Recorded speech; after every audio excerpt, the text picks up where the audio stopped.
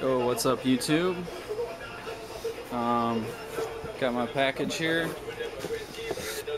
One of the two, uh, this is the ballast hood light bulbs and stuff like that.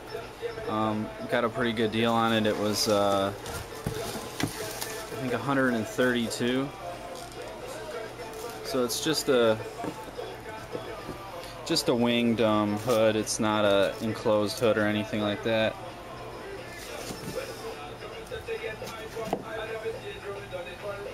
But uh, it should be fine. It's just a 400 watt, so I'm not too worried about it.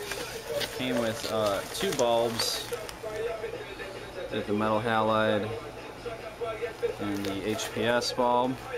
It's a really good deal because if you add up all this stuff at a grocery store, you're gonna be paying like two, three hundred dollars, and uh, sometimes it's just not worth you know spending that much money on some of this stuff because there's just so much of it out there, you know. I don't even know what's in here. I'm guessing maybe the ballast.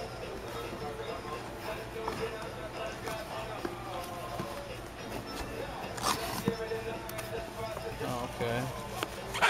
It's a little digital ballast.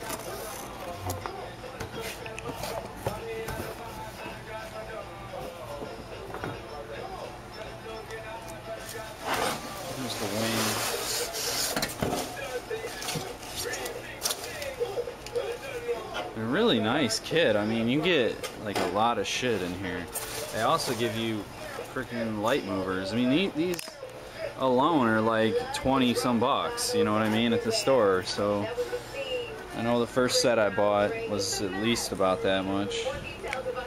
And these are really nice because you can, uh, you know, easily adjust the height of the lamp. That's all the goodies in the box. Yeah. But uh, yeah, I'll um, open this up so we can look at it real quick.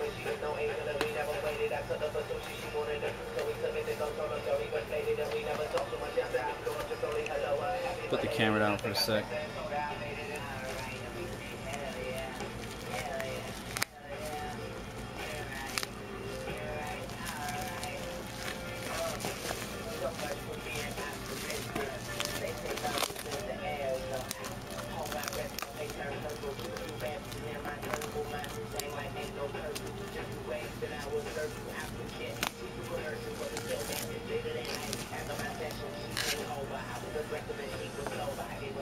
Alright guys, so I just want to show you the entire kit. Okay. Got all this shit for like a hundred bucks. You know, with tax and shipping, it's like about 130 shipped to your door, but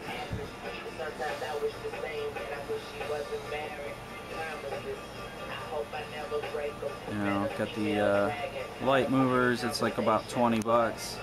These hoods are usually at least 50, 60 to 100 bucks. You know, um, the lights are usually anywhere from 50 to 100 each. Ballast, shit, that can be anywhere. You know, that can be a couple hundred. It depends. This is kind of nice. This one's a um, a digital as well.